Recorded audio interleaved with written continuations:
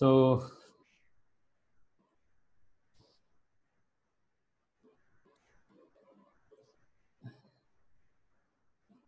this is visible. Vijay, this is visible. Yes, sir. Visible, na? So we are going to put this in recording mode. Okay. Because we have need uh, some uh, recorded videos also Yes. For uploading of this uh, all things uh, on our website. So now we are going to put this Yes. in recording mode, and uh, our sir is also has joined, Dean PGS sir. Uh, if you have any inqu- query, then you may ask in the last, or you put to write anything. Okay.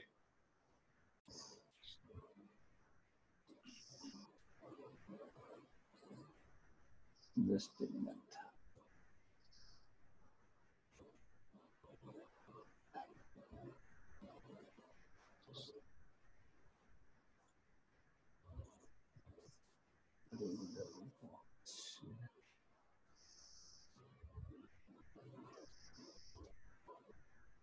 Slide is visible, Vijay? Yes, sir. Okay. Just a minute.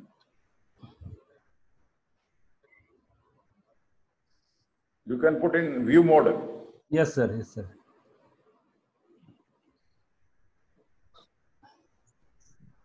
Carry on. Huh? Okay, sir. So, Vijay, we have discussed the structures of the tubular organs. In major, uh, that was the uh, main glands or gland uh, gonads, testicles. We have already discussed the structure, histological and ultrastructure of the testis. Okay. So later on, uh, um, Vijay, you have any problem regarding listening or anything, then you can interrupt. Okay. Vijay. Yes.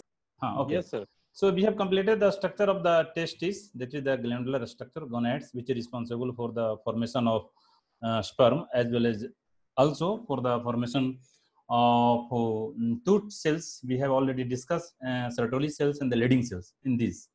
So prior to a start, we have must some anatomical, gross anatomical knowledge regarding the structures which presents uh, comes under the reproductive tract. So these structure we have already completed. These uh, structures and their internal structure are also testicles. And inside the testicles, there is seminiferous tubules. Uh, you, the, you go through this structure.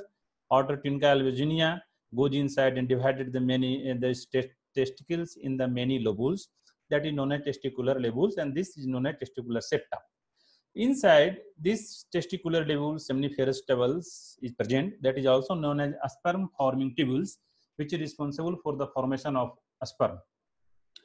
And inside the seminiferous tubules, there is a cell that is known as Sertoli cells. And outside, in between two levels, this area having uh, important cells that is known as leading cells.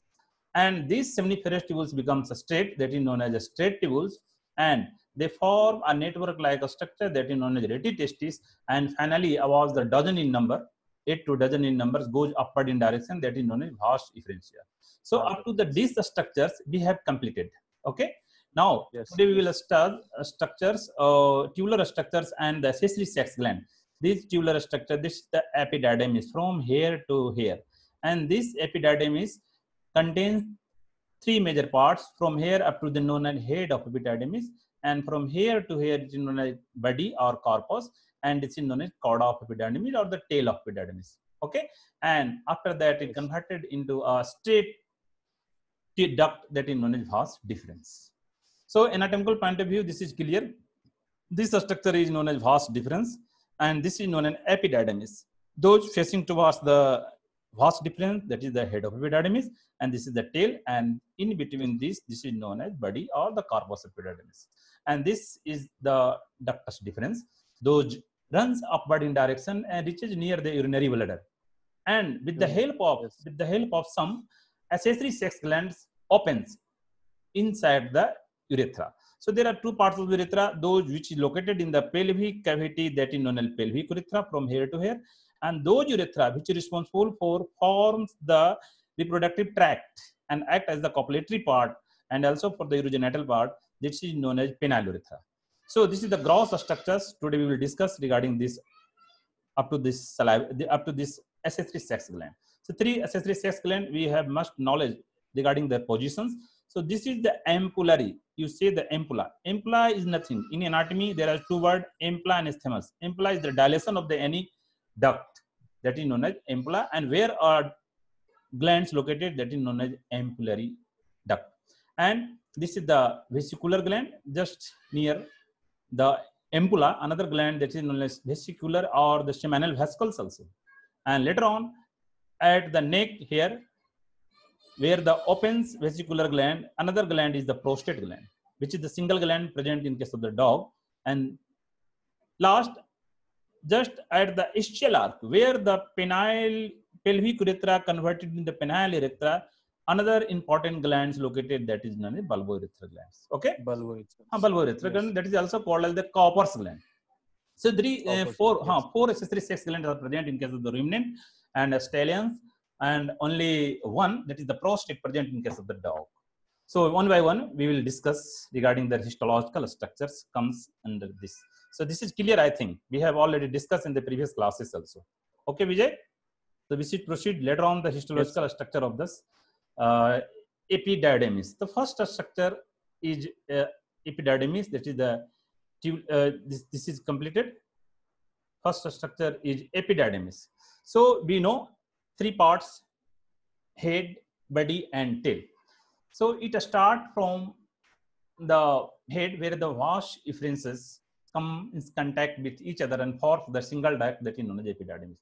It is the highly convoluted duct extend from vas efferentia to the vas deferens. We have already seen in these pictures and contains three parts, head, body, and tail. Its length varies. This is the gross structures, vary uh, depend upon the species. In the bull and boar, it is about 40 mm, stallion 70 mm, and hold about 20 days of the spermatozoa for the many functions. There are four general functions we will discuss later on. So we have, uh, you must know about the histological structure, tubular organizations. First, those it comes in contact with the lumen that is known as tunica mucosa, which contains three layers, LEM, lamina epithelialis mucosae, lamina propria, lamina submucosa. Yes. You have idea, na? Later on, Yes. Tun, हाँ, tunica submucosa, later on tunica muscularis mucosae, and later on Muscul- adventitia and serosia. This is the outermost layer. Okay. So Outermost we, layer. we Yes. discuss only important structures which comes under this topic. So this tunica mucosa contains three layers, and those layers which comes in contact with the sperm. This layers is lined by a uh, epithelium. This is known as pseudo-stratified ciliated columnar epithelium. Okay, pseudo-stratified ciliated columnar epithelium. So you have must physiological knowledge regarding their epithelium. प्रकृति ने nature ने क्यों इसको दिया pseudo stratified cilia दिया because Yes. they play major role for movement for transfer of the Movement. protozoa from one parts to other parts from one structures to other structures in the form of duct those who are present okay Mm. so this is the caput caput you know head cauda is the tail and carpus is the body so lamina epithelium where it start from the just near to the vas efferens that is line as pseudo-stratified ciliated columnar epithelium and with the polygonal basal cells. Its base contains the polygonal cells. And caput, maximum tall columnar. Understand? Tall columnar. You must have an idea about the epithelium, cuboidal, columnar, squamous.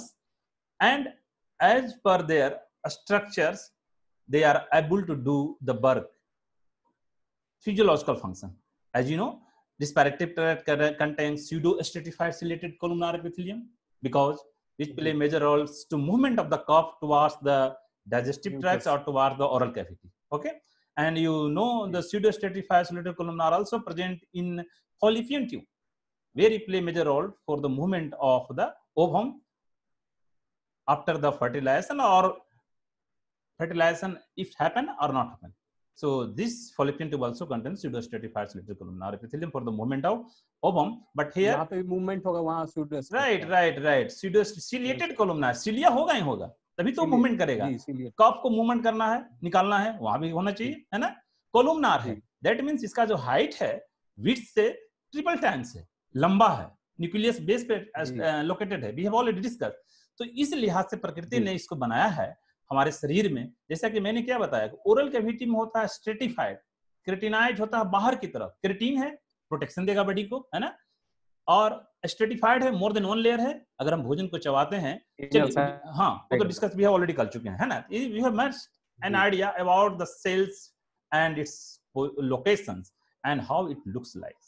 So these epithelium lined by pseudostratified ciliary columnar epithelium with the polygonal cells which play major role for the transportation of the sperm. So there are four functions. Okay, one is transportations. Okay, maturation, secretion and absorption and last is also a storage. A storage किसका होगा? Vijay Vijay Audible to me किसका storage करेगा और storage of cement. Right semen नहीं। Semen होगा क्या यहाँ पे? इज़ सीमेन प्रेजेंट एपिडर्मिस में इस स्टोरेज ऑफ़ स्पर्म स्पर्म होगा राइट ये क्या करता है? स्पर्म को स्टोरेज करने का काम करता है। ट्रांसपोर्टेशन जब नीट हुआ तो बाहर निकाला। अगर कोई स्पर्म मिच्योर्ड नहीं हुआ है तो कोई ये सिक्रेशन सिक्रेट करता है। उसके लिए न्यूट्रिएंट का काम करता है एपिडेमिल फ्लूइड जिससे उसका मैचुरेशन भी होता है। Okay if there is any distractions in the structure of the spermatozoa related to their uh, tail body like that then they also act and to observe the destruct part of the spermatozoa अगर कोई spermatozoa में टूट फूट हो जाती है तो उसको भी ये ऑब्जर्व करने का कार्य करता है so there are five functions okay transportation maturation secretion absorption and storage of the sperm so now you see the histological slide we have already know the positions uh, uh, structures of the pseudo stratified pseudo having one layer but seeing more than one okay? And columnata so this is the lamina epithelialis mucosae this and this structures is contain ciliated cilia. You see here this is the cilia okay?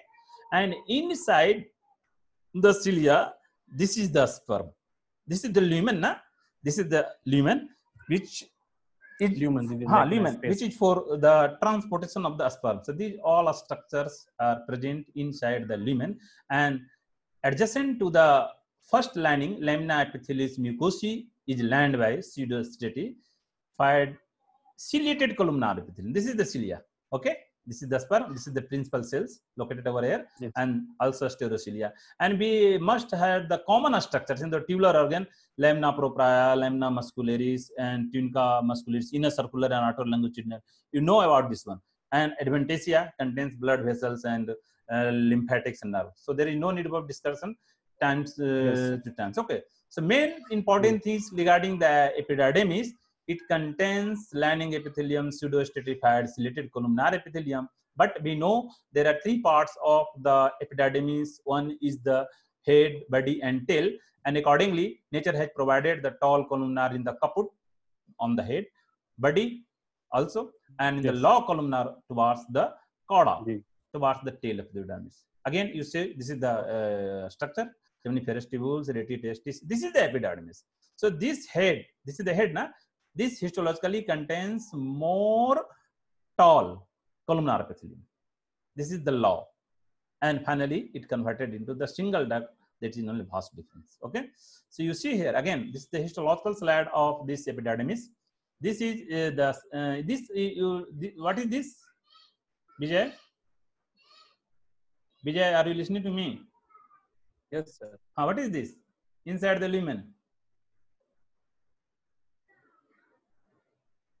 we have already seen it- we have already seen in this pardon क्या है ये lumen right aspermatozoa है बताना है कि sir aspermatozoa है and this is the cilia stereocilia okay this is the cilia and this is the G. pseudostratified ciliated columnar epithelium this all are the pseudostratified this is also pseudostratified ciliated columnar epithelium and this contains the sperm this is the pseudostratified ciliated columnar epithelium and we have already said this is the G. basal cells and from where the columnar epithelium converted into pseudostratified cells also contains polygonal cell and basal cells okay?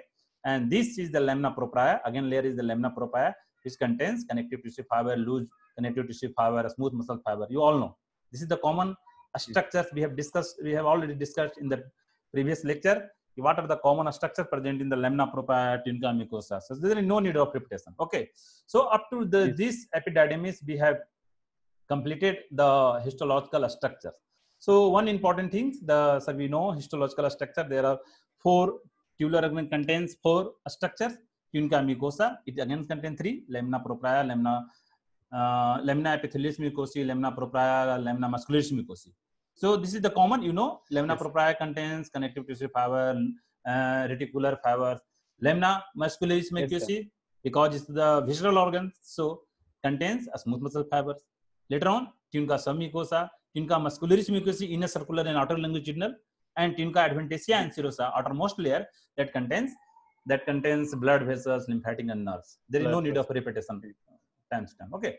So we have completed the structures histological structures of the epididymis. Now second structures of the tubular organ just this tail of epididymis. You see here? This is the tail of epididymis converted into Hmm. a straight and convoluted structures in upward in direction this is known as vast difference.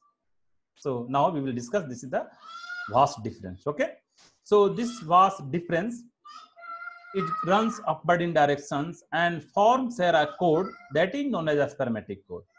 And a spermatic code contains seven structures. We will discuss later on okay? This is vast difference. So you see here vast difference it is the thick muscular tube conducts a spermatozoa from epididymis to the base of urinary bladder where the epididymis opens with the help of the accessory structure that is the ampullary duct you see here दिख रहा है विजय हाँ ये जो ऊपर की तरफ़ जी। रहा है दिस इज़ भाग डिफरेंस आगे की तरफ़ जाता है और यहाँ जाने के बाद एम्पुला ओपन होता हाँ वहाँ पे ओपन हो जाता है तो अगर कोई पूछे कि व्हाट इज़ वास्ट डिफरेंस तो कहेंगे it is the continuation of the epididymis upward in directions है runs कंटीन्यूअस हाँ continuation runs upward in direction and reaches up to near the neck of urinary bladder where the ampullary ducts are located and play major role for the transportation of spermatozoa from tail of epididymis to the urethra this is the urethra na? this is the urinary bladder this is urinary bladder and urethra is the common passage for the carry the sperm semen as well as also for the urine okay Huh, also for the urine. So now we come to the point of histological structures of the vas difference. So this is the thick muscular tube conduct a spermatozoa from epididymis to the base of urinary bladder, where the ducts join the duct of seminal vesicles. You see here, just close to the ampulla, there was there is another duct that is the seminal vesicles from ejaculatory Hmm. ducts which opens in the prostate of the urethra. Here, because we know the tubular organization, histological tubular organization. So again, this vast difference, ductus difference, contains an lamina epithelialis mucosae or the epithelium that is lined by pseudo stratified ciliated columnar epithelium. Okay, हाँ right, epithelium. And ciliated columnar this stratified जब वह duct आगे की तरफ़ बढ़ता है urethra के पास जाता है तो वहाँ का अगर हमें दिया जाए, कहा जाए कि ये आपके पास for the diagnosis point of view कि ये वास्ट डिफरेंस का हिस्टोलॉजिकल स्ट्रक्चर बनाना है, अगर वो नेक की तरफ़ का होगा, जहाँ पर कि वो खुल रहा है एम्पुलरी डक्ट के पास सेमानल वेसिकल के पास तो वहाँ पर हमको स्यूडो स्ट्रेटिफाइड नहीं मिलेगा। सिर्फ़ सिलेटेड कोलमनार एपिथेलियम मिलेगा। Okay so from tail of epididymis duct के पास सिलिएटेड मिलेगा। हाँ सिलेटेड मिलेगा स्यूडो स्ट्रेटिफाइड नहीं मिलेगा ठीक है? जहाँ पे यूबी यूरिनरी ब्लडर खुलेगा वहाँ पे सिलिएटेड होगा। हाँ जहाँ पे यूरिनरी ब्लडर के पास जाकर के ये खुलता है ठीक है? वहाँ पर सिलेटेड हाँ सिलेटेड कोलमनार एपिथेलियम होगा जहाँ पर कि two majors accessory sex gland located है एक एम्पुलरी दूसरा सिमेनल वेसिकल्स और उसके बाद प्रोस्टेट वहाँ पर का जो एपिथेलियम होगा सिलेटेड कोलमनार एपिथेलियम ठीक है next we know the second lining just above the lamina epithelialis lamina propria and here lamina muscularis mucosa is absent so we call lamina propria submucosa or tunica submucosa ठीक है this uh, we will see in this picture also you see here this is the tubular organization the common tubular organization of the any tubular part में digestive tract respiratory tract जिस system में जो tube होगा उसकी संरचनाएँ common होती है ये। ओके उसका लाइनिंग एपिथेलियम अलग होगा। जो ये सब मिकोसा लेयर है वहाँ पर कुछ ग्लैंड्स होंगे। जैसे हम ड्यूडेनम की चर्चा करते हैं वहाँ ब्रूनल्स ग्लैंड्स होता है। इलियम की चर्चा करते हैं पेयर पैचेज होता है। लेकिन ये जो निमिन है ये जो ट्यूनका म्यूकोसा है ये ट्यूनका म्यूकोसा ही सब में रहेगा हम पहला क्लास में बताए हैं। उसके बाद ट्यूनका सब म्यूकोसा होता है। हाँ ट्यूनका मस्कुलरिस म्यूकोसी होता है और बाहर वाला को हम ट्यूनका एडवेंटेशिया बोलते हैं। है ना? ये क्लियर है? This is the structure of vas deferens और किस लेयर में क्या मिलता है, क्या इंपॉर्टेंट स्ट्रक्चर है, उसके बारे में हम जानकारी लेते हैं। ठीक है? तो इसी का यहाँ थियोरिटिकल पॉइंट जो पावर पॉइंट में लिखा गया है कि lamina epithelialis mucosa it contains opening of dismal vesicles और ampullary it contains only ciliated columnar epithelium next layer lamina propria submucosa it contains loose connected tissue and rich elastic fiber and rich elastic fiber and lamina muscularis mucosa is absent there are three layer of tunica mucosa you know lamina epithelius mucosa lamina propria and lamina muscularis जिस organs में ये lamina muscularis mucosae जिसे ruminant में rumen में absent होता है तो वहाँ एक साथ कॉल करते हैं प्रोप्राया सब म्यूकोसा इसमें जो उपस्थिति होती है एनाटोमिकल स्ट्रक्चर वो rich amount of elastic fibres होता है इलास्टिसिटी प्रदान करता है उसको और लूज कनेक्टिव टिश्यू फाइबर्स होते हैं। ओके? नेक्स्ट इनका मस्कुलरिस म्यूकोसी कॉमन है? इनर सर्कुलर आई मतलब inner circular and outer longitudinal for the all tubular organ sect urinary bladder urinary bladder में जब पढ़ाएँगे उसमें एक मिडिल लेयर भी होता है। ओके? एंड बाहरी लेयर जो होता है जिसको हम लोग ट्यून का एडवेंटेसिया कहते हैं उसमें ब्लड वेसल्स होता है नर्व्स होता है लिम्फेटिक्स होता है। ठीक है? अब ये कह रहा है कि आपने जो ये बताया सर कि यहाँ जो ओपेंस कर रहा है द एम्पुला वो सिलेटेड कोलुमनार हो जा रहा है। ठीक है? सिलेटेड कोलुमनार और वो जो यूरेथ्रा की लाइनिंग होता है जहाँ पर ये जो ग्लैंड्स एम्पलरी ग्लैंड जो ओपन होगा और सेमानल वेस्कल्स जो यूरेथ्रा इस नली में जो ओपन होगा उसका लाइनिंग क्यूबैडल एपिथेलियम होता है। उसकी हम चर्चा करेंगे। ये जो ये जो नली है ये जो डक्ट है ना अब इसका भी कुछ डक्ट होगा वेस्कुलर का भी डक्ट होगा कुछ सिक्रेशन कर रहा है सेमानल फ्लूइड का तो यहाँ पर जो ओपन होगा उसकी लाइनिंग अलग होगी। ये जो प्रोस्टेट है ये जो ओपन करेगा यहाँ उसकी लाइनिंग अलग होगी और ये जो बल्बो यूरेथ्रल है उसकी लाइनिंग अलग होगी ठीक है So up to this, we have completed the two structures. One is epididymis, another is vas difference. This is a Vas uh, huh, vas difference. This is comes under the tubular organizations of the male reproductive tract. Okay. So uh, regarding epididymis, we have already discussed grossly. In length is different in different animals and it play major roles. It holds the spermatozoa about 20 days. ये 20 दिनों तक रखता है spermatozoa का। जब उसकी need होती है तो वहाँ से वो या तो इजाकुलेट इजाकुलेशन के समय बाहर करता है स्टोरेज करता है मैचुरेशन करता है ऑब्जॉर्शन भी करता है अगर टूट फूट गया तो और उसको ज़िंदा रहने के लिए एपिडाइडमल फ्लूड भी देता है जिसको हम लोग सिक्रेशन के रूप में उसका फ़ंक्शन जानते हैं। ठीक है? तो इसका तीन स्ट्रक्चर होता है head body and tail head जो होता है टॉल कोनुमनार होता है और यहाँ पर जो होता है बॉडी भी और जहाँ पे ओपन करता है कॉर्डल पार्ट वो लॉ कोलुमनार होता है। और इसकी जो लेमना एपिथेलियम की लाइनिंग होती है pseudostratified ciliated columnar epithelium ठीक है? एपिडाइडमिस के बारे में अगर हिस्टोलॉजी पूछे तो बाकी जो ये लाइनिंग है जो मैंने अभी पढ़ा वास्ट डिफरेंस में सेम चीज़ लिखना है कि लेमना प्रोप्राया जो होता है और लेमना जिनका समिकोसा में लूज कनेक्टिव टिश्यू फाइबर्स होता है इलास्टिक फाइबर होता है। This is the common for all structures अगर कोई अलग से हमें दिखाई देगा तो उसके बारे में हम चर्चा करेंगे। ठीक है? सो this is the epididymis. You see their histological structures again. This is the pseudostratified ciliated columnar. It contains the cilia stereocilia this one lining epithelium okay? Inside spur lamina propria layer. And this is the lamina muscularis in a, um, a smooth muscle fiber present here. Some vessel cells and principal cells. Again this is the structures. You gross structure you have already seen in the previous class and today's also. And this is the histological slide. Again pseudostratified ciliated columnar epithelium smooth muscle fiber. This is the connective tissue, lamina propria. Okay, lamina propria and lamina muscularis here, and this is the stereocilia near the sphenotogones. And vast difference we have already discussed is the thick muscular duct which extend from tail of epididymis to the urinary bladder and contains histologically following structures: lamina propria, lamina epithelium Yes. pseudostratified. So. And lastly, the outermost blood vessels, nerves, and lymphatics, which mainly presents on the tinca adventitia and tinca serosa layers. Again, this is the same slide of this pseudostratified ciliated columnar, lamina propria elastic network, a smooth muscle fiber. Okay, this is the tubular organization drawn by students okay so हम लोगों ने क्या किया इसी के बारे में discuss किया कि सर आपने जो संरचनाएँ बताई यहाँ से लेकर के जो चार लेयर है उसी में कौन से epithelium is very important for the any structures उसी के अनुसार उसका कार्य होता है ठीक है So this up to the vast difference we have completed again this is the histological slide of the vast difference this is the lamina epithelialis mucosa lumen ना ये lumen है यहीं से sperm का Yes, sir. movement होता है ये pseudo stratified ji. ciliated columna this is the lamina propria you see here this is the lamina propria okay lamina propria ji. and this is the lamina muscularis from here to here lamina only here to here and this from here to here is known as inner circular and outer longitudinal muscle outer longitudinal and inner circular layer. Okay. Mm. And this is the tunica adventitia. See here. tunica adventitia contains blood vessels, nerve and lymphatic outer layer. So mm these four layers are clear, I think. This is the histological slide mm of the vast difference. Again, you see here, this is the same vast difference or ductal difference. This is the lumen. For the moment of traveling of the spontozoa, and this is the lining epithelium, pseudostratified ciliated columnar, contains the cilia, stereocilia and this is the loose connective tissue fiber present in the lamina propria. This is the lamina propria okay?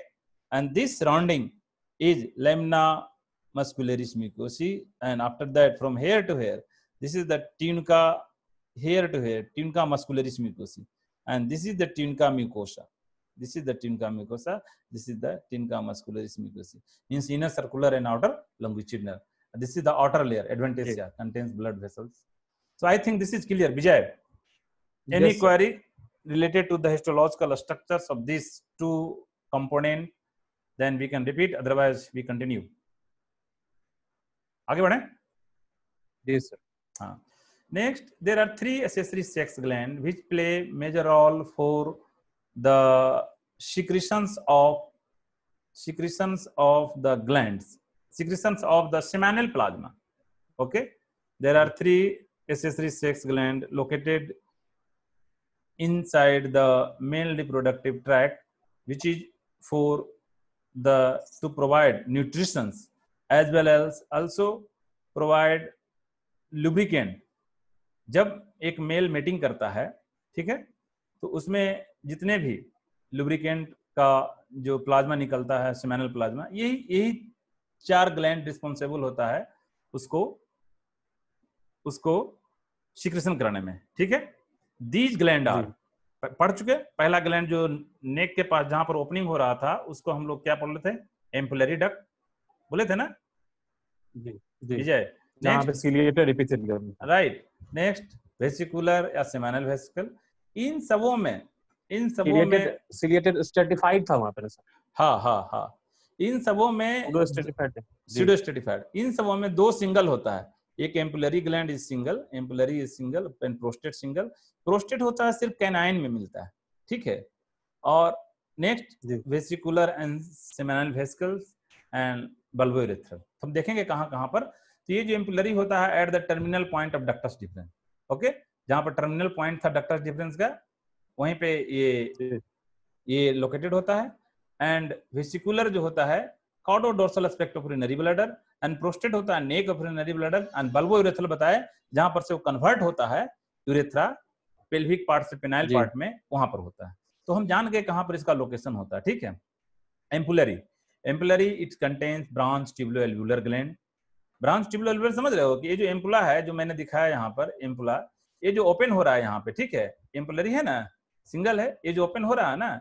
यहीं पे branch tubulo alveolar glands होता है। उसकी branch tubulo alveolar gland इसलिए कहा गया है कि उसका जो बनावट है ब्रांचिंग पैटर्न में होगा ठीक है? ट्यूब्स बहुत सारे ट्यूब होंगे और एल्वुलाई की तरह दिखेंगे इसीलिए इसको बोलते हैं branch tubulo alveolar gland with smooth muscle fibre इसका lining epithelium simple columnar to cuboidal यानी सिंपल कोलुमनार होगा और जहाँ पर ओपन कर रहा है नली में यूरेथ्रा में यूरिनरी ब्लडर का जो नेक खत्म हो गया यूरेथ्रा बन गया वो क्यूबाइडल हो जाएगा ठीक? उसके बाद कह रहा ट्यूनका मस्कुलरिस म्यूकोसी जो हम पढ़े थे inner circular and outer longitudinal it consisted हाँ थिक मसल फाइबर वही रहेगा लेकिन उससे औरों की तुलना में ज़्यादा थिक होता है। एंड बाहर वाला लेयर है हाईली जानते हैं बाहर वाला में क्या मिलेगा? जो भी मान लिया स्किन हो गया उसमें ब्लड वेसल मिलेगा। नर्व्स मिलेगा लिम्फेटिक मिलेगा। हाँ कॉमन चीज़ है ये। तो यही लिखा है। Tunica contains connective tissue fibres nerves and lymphatic. Okay? So ampullary is जी। इसका lining epithelium simple columnar to cuboidal next is seminal vesicles. Next gland that is paired है ना? And absent in dog canine में ही absent होता है। Canine में एक ही होता है प्रोस्टेट होता है। ये जो देख रहे हो ना यहाँ पे ये प्रोस्टेट होता है। ये जो प्रोस्टेट है यही होता है। और ये इसको पूरा राउंड किए रहता है। सिंगल होगा। सिंगल होता है हाँ। कभी कभी अगर डॉग तुमसे कोई एज ए सर्जन या एज ए डॉक्टर तुम जब ट्रीटमेंट करोगे और वहाँ ये कहेगा कि सर देखिए ना मेरा जो डॉग है जब यूरिनेट करता है मेक्चुरेट करता है तो दर्द होता है उसको। बाकी समय ठीक रहता है। तो प्रोस्टाइटिस के केस में यही होता है। जो प्रोस्टेट है ना बढ़ जाता है और इस पर दबाव डालता है इस नली पे।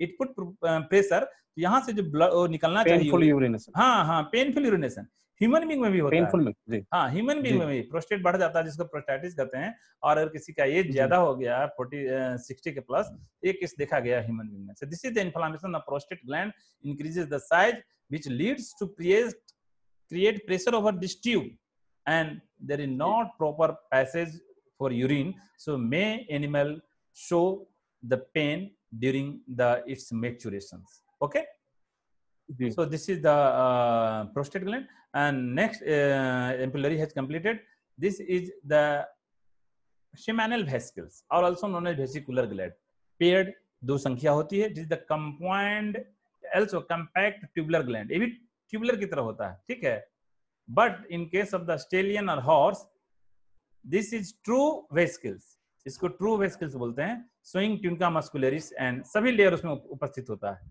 okay in case of the stallion ji. all layers are present so it is known as true vesicle tunica muscularis mucosae is glandular epithelium वहाँ ग्लैंड होगा तभी तो कुछ सीक्रेट करेगा। सेमिनल प्लाज्मा करेगा सेमिनल फ्लूइड करेगा है ना? एंड एपिथेलियम जो। होता है pseudo stratified ciliated columnar epithelium sorry pseudo stratified epithelium is pseudo stratified pseudo stratified ठीक है? एंड जी। डक्ट्स लेमना एपिथेलियलिस ये तो हुआ उसकी चर्चा। जो ऊपर की तरफ़ जो ग्लैंड बना हुआ है ठीक है? उस ग्लैंड में जो लाइनिंग होगा सीडो स्टेटिफाइड और वो जब ओपन करेगा यूरेथ्रा के पास तो वहाँ पर क्या लाइनिंग हो जाएगा सिंपल कोलुमनार टू स्ट्रक्चर समझ रहे हो? एक तो सर मान लीजिए पेड़ है। तो पेड़ का जो ऊपर का जो शाखा है जहाँ पर वो पत्ती उत्ती जो बना हुआ है वो है सीडो स्टेटिफाइड कोलुमना ठीक है? लेकिन वो जो ब्रांचिंग हो करके स्टेम बन रहा है उसका जो लाइनिंग है वो सिंपल कोवेडल है और स्टेटिफाइड कोलुमना ठीक है? And seminal vesicles are surrounded by loose connective tissue and muscle fibre उसके आगे जो होता है उसमें loose connective tissue muscle fibre से सराउंडिंग करता है। ठीक है? Secretory product are rich in fructose and provide energy to the ejaculated sperm समझा? वहाँ जो ये फ्लूड जो सिक्रेशन करता है जब स्पर्म निकलता है सीमन ये जो प्रदान करता है ये वेस्कुलर ग्लैंड तो इसमें मोर अमाउंट ऑफ़ फ्रुक्टोज होता है। जो कि उसको एनर्जी का सोर्स होता है। इसके लिए? स्पर्म के लिए। अगर स्पर्म यहाँ से ट्रेवल करके निकल रहा है और एक ही साथ दोनों प्रक्रिया होती है जब इजाकुलेट करता है तो एक ही साथ निकलता है इस समय की जो प्रक्रिया होती है जो विजाना में जाता है स्पर्म उसको जो न्यूट्रिशन चाहिए भोजन चाहिए उसको ज़िंदा रहने का कार्य में जो एनर्जी मिलना चाहिए मूवमेंट करने के लिए तो ये ग्लैंड्स जो है वेस्टिकुलर ग्लैंड जिसको सेमिनल वेस्किल्स बोलते हैं यही रिस्पॉन्सिबल होता है which contains more amount of fructose physiology में पढ़ाया जाता है कि सेमन का कंपोजिशन में क्या क्या आता है तो क्लियर सेमिनल वेस्किल्स के बारे में कि sir this is the paired gland located near the neck of urinary bladder where the ampular gland comes in contact attached to each other and vast difference comes in contact with this epithelium contains two one glandular part pseudostified and ductular part which comes in contact with the uh, urethra that is simple covidal and it is surrounded by Mhm. connective tissue of smooth muscle fibers and it is the richest source of sucrose which secretes during the ejaculations ये देखेंगे ये lining. Epithelium हो गया this one ठीक है mucosal epithelium सीडोस्टेटिफाइड ये जो है ठीक है और this is the secretory mucosa जो कि सिक्रेशन का काम कर रहा था ठीक है इसी को बोला था ब्रांच ट्यूबुलर ब्रांचिंग होल है देख रहे हो ना सब जगह this is the branching this is the inner circular and outer longitudinal common है। इनर सर्कुलर है आउटर लंग्विचुडनल है and adventitia blood vessels and nerve fibre so this okay again you see slide of this this is the pseudostratified ciliated this is the lamina propria this is the submucosa okay Vijay आगे बढ़े। जी sir ये तो electron micrograph नहीं उसी का electron का नहीं। Electron में तो तुमको माइट्रोकॉन्ड्रिया दिखेगा गोल्गी बड़ी सब चीज़ दिखता है। ये उसका 40x किया गया। वो 10x का स्लाइड था। ये जो दिखाया गया है ना टेन एक्स का है ठीक है? इसके पहले जो भी हम देखे टेन एक्स उसी को बड़ा कर दिए तो फोर्टी एक्स में आ गया okay? So up to the two gland we have and prostate sorry next is prostate सेलेब्री gland okay prostate is the single सेलेब्री gland and it is also tubular gland tubular gland present in all domestic animal only से dog में कौन सा एक accessory sex gland होता है that is the prostate prostate accessory sex gland okay इसका भी lining epithelium जो होता है सीडोस्ट्रेटिफाइड सिलेटेड कोलुमनार ना हो कर करके सीडोस्ट्रेटिफाइड क्वेडल एपिथेलियम होता है इनिशियल पार्ट ठीक है? और ट्रांजिशनल अब दो पार्ट हो गया। ऊपर का जो एपिथेलियम है जो देखा था पोजीशन वहाँ पर सीडोस्ट्रेटिफाइड क्वेडल मिलेगा। ठीक है? और जो उस डक्ट में जाकर के ओपन करेगा जो उस डक्ट में जाकर के ओपन करेगा वहाँ का जो लाइनिंग होगा वो ट्रांजिशनल हो जाएगा। क्लियर है?